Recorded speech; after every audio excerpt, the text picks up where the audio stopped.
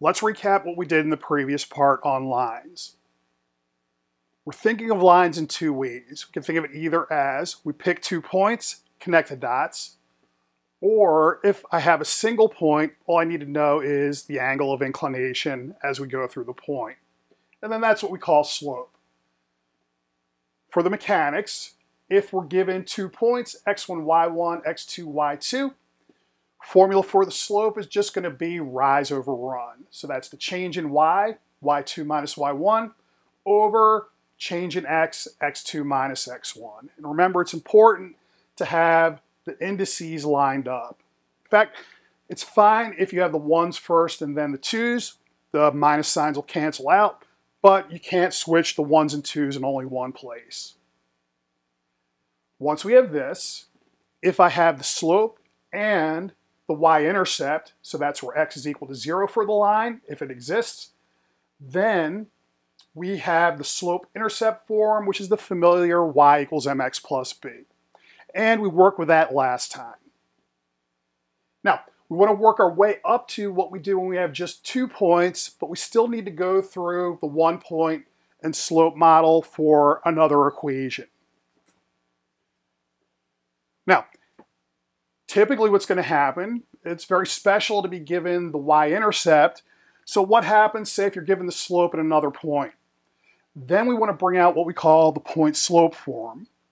So this looks like, okay, if we're given the slope m, and any point on the line x1, y1, we have y minus y1 equals m, x minus x1 in parentheses. Now, thing to note, x1 and y1 are just going to be numbers. So what will happen here, when we multiply through by m, we distribute, we'll have mx minus mx1. mx1 will just be a number, y1's a number we move over, and then we just wind up again with y equals mx plus b. So this will go back to slope-intercept form. Where does this come from? Well, we just take our definition of slope, and I'm going to erase the 2's on y2 and x2. So we have, okay, and then also to make this a little bit easier to work with the fractions, I'm going to take m and put it over 1. Because if I take any number over 1, that's the same as the number. Now, when I have this, we can either cross multiply to get directly to our equation, or just for some practice with fractions, I'm going to multiply both sides by x minus x1 over 1 to clear out the denominators. So what happens now?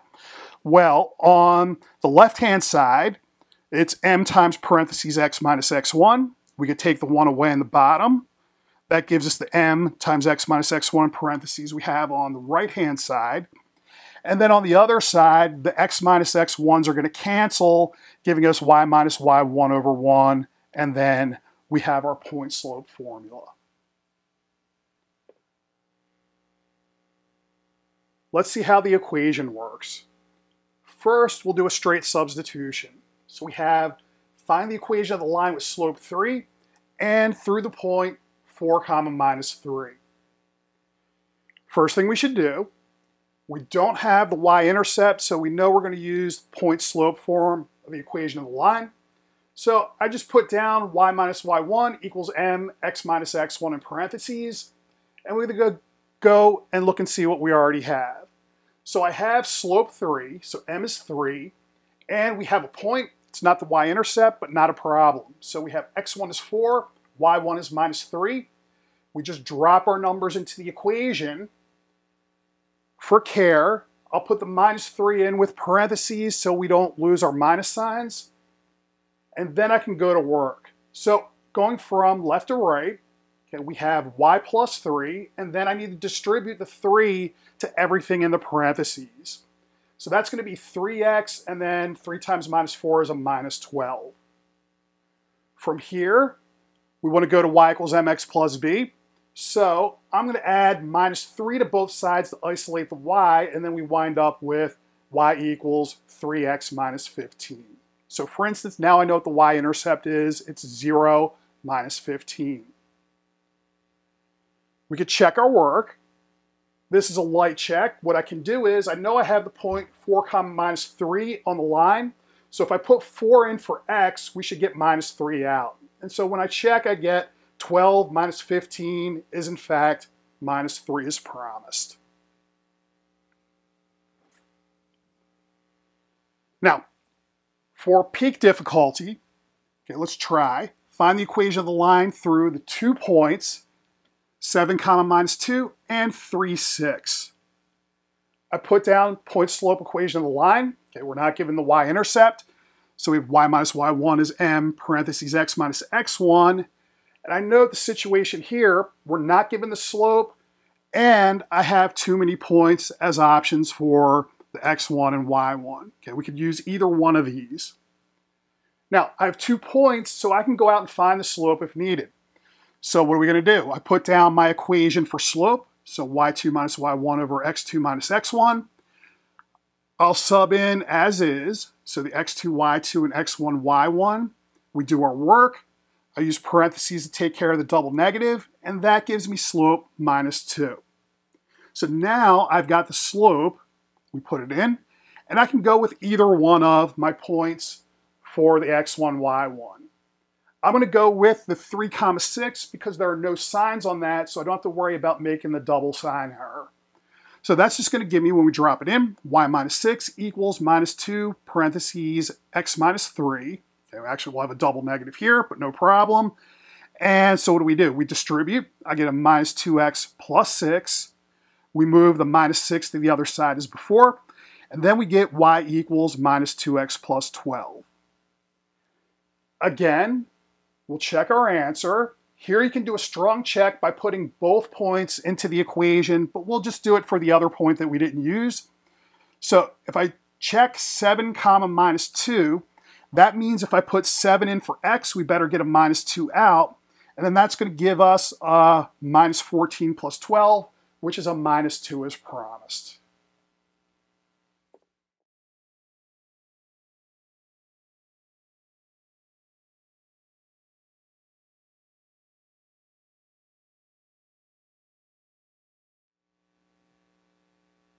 As a further application of the point slope formula, here are some important ideas we'll need for later on. So, we have the notions of parallel and perpendicular. Now, parallel lines in the plane, we could define that qualitatively as just a pair of lines that never intersect. But we note with this idea of slope, parallel just means looking at a picture that the slopes have to be equal. So if two lines are parallel and I know the slope of one of them, I get the other one for free by just doing nothing. Perpendicular, that means we have a pair of intersecting lines and when we look at the point where they intersect, the angle of intersection is 90 degrees or a right angle. So quantitatively, and we'll say a little bit about this on the next board. We'll say that two lines are perpendicular if, when we multiply their slopes together, we get minus 1. Or if I'm given the slope of one of them, say m1, I get the slope of the other by flip and negate, put a minus sign in. Now, let's first just work with slopes and keeping straight what we do at parallel and perpendicular. Because we don't do anything with parallel, this is very easy to forget. Now, let's suppose we're given the slope of one line is given by m1 equal to 3 fifths. So if I have a parallel line to this line, the slope is just the same, it's 3 fifths. For the perpendicular, what do we do? We're going to take the 3 fifths, flip it, turn it upside down, and then put a minus sign in front. So we'll get minus 5 thirds. For another example, so here, not a fraction, suppose slope of one of our lines is equal to minus 6. For the parallel, we just repeat, the new slope will be a minus 6. For the perpendicular, we'll note this is not a fraction, but not a problem. I can make it into a fraction by just putting it over 1, because if I put 1 under any number, we have the same number. Now, for the perpendicular, what are we going to do? We're going to flip and negate, so I turn it upside down, put a minus sign out in front. Note, I'll use parentheses to make sure we don't lose any signs. we've got the double minus sign, which becomes a plus, and so the new slope is equal to 1 sixth.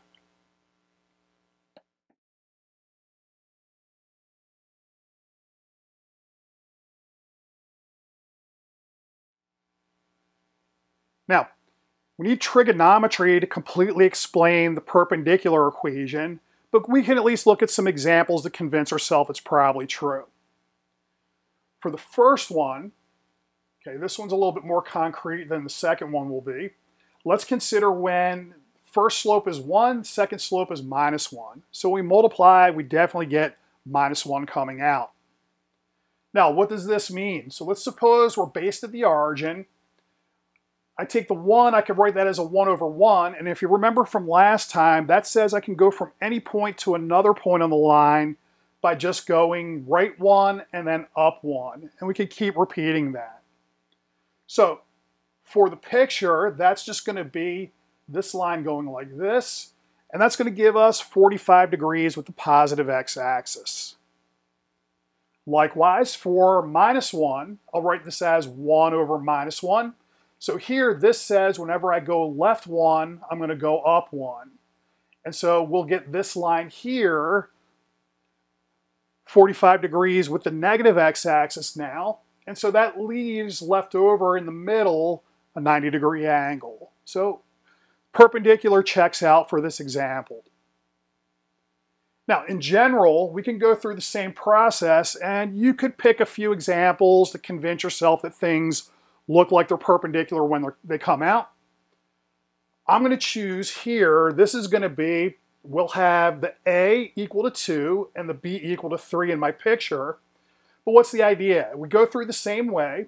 If the first slope is B over A, then if we're based at the origin, I'm going to get another point by going right A and then up B, giving us this line in the first quadrant, or going starting in the first quadrant and then extending through. Then if we flip and negate, well, we'll read that as going by, left by minus b and then up by a, and then we can extend. And then those two lines, if we look at that, there's going to be a right angle between them if we are good with our drawing. We check, we multiply those two, they definitely give us a minus one. And as noted, if you want this precise, you need techniques of trigonometry are pretty much going to be um, surefire way of showing this. Now, let's look at some examples with parallel and perpendicular with the point slope equation. So, problem, find the equation of the line parallel to y equals 4x plus 7 and through the point 2, 5. When we read these, okay, I have to look for either the words parallel or perpendicular. They're easy to read through and then not be sure what you're trying to do with the problem. But parallel is in here, and so immediately I think that means we're going to have the same slope. That means I have a slope for the new line, I have a point for the new line, so the point slope equation is going to be what we need to get the final answer. So what do we have? We have, okay, we know the slope is 4, it's the same as the old slope, and the 7 I don't need at all. I need the new point, which is 2 comma 5. So that'll be the x1, y1 for the point slope equation. So we'll have, okay, you could just look it up if you forgot it, but y minus 5 equals 4 times parentheses x minus 2. We distribute, we get 4x minus 8. I add 5 to both sides to get to y equal to 4x minus 3. And then that's our answer. So here we know the y-intercept is 0 comma minus 3. And I have a light check. I can make sure our point actually stays on the line.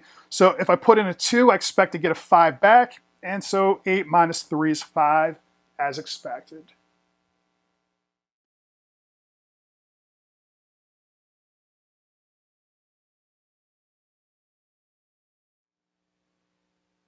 To finish, let's consider a problem with perpendicular. This one will be peak difficulty for this section. It'll go much smoother if we have tight bookkeeping. So what do we have? Find the equation of the line perpendicular to, okay, the line's equation is 2x minus 3y equal to 12, and through the point 2 comma minus 4. Now, what do I need for a perpendicular line? Well, I'm going to have to find the old slope convert it to the new slope. And then we note we're also given a new point. So this is just going to be point slope equation when we sort everything out. Problem is we're not given the old line as y equals mx plus b. If, we, if it was, we could just read off the old slope and we get to our answer quicker. So here what I need to do first is get this into slope-intercept form, y equals mx plus b, which means we need to isolate the y. What do I do? Well, we take our equation. I'm just going to um, move things around to make this easy to manipulate. I want to put the 3y on the right, so I'm going to move the 12 to the other side at the same time. So that's this bookkeeping here. Once we have this, 2x minus 12 equal to 3y, I'm going to divide both sides by 3. That isolates the y, and then on the other side note, I have to distribute that 3 into all parts. So that's going to give us y equal to 2 thirds x minus 4. Now, that's the old line, so we're not even close to done yet. So if you stopped here, that would be bad. What do we do? Well, now I've got the old slope, which is 2 thirds, if I want perpendicular, we're going to flip and negate. So I'm now going to have minus 3 halves, and now I can drop all of our data into point slope equation. So we'll have, okay, careful bookkeeping, I've got y minus a minus 4 equal to minus 3 halves, parentheses, x minus 2. Double negative means we have y plus 4. I distribute the minus 3 halves. We get minus 3 halves x plus 3. And then I want to move the 4 to the other side giving us y equals minus 3 halves x minus 1. As usual, we have a light check. I could take our point, the 2 comma minus 4. If we put 2 into this equation, we're expecting to get a minus 4 out. I'll put the 2 in as a 2 over 1, so there's no confusion of where the 2 goes. And then we're going to wind up with a minus 4 as promised.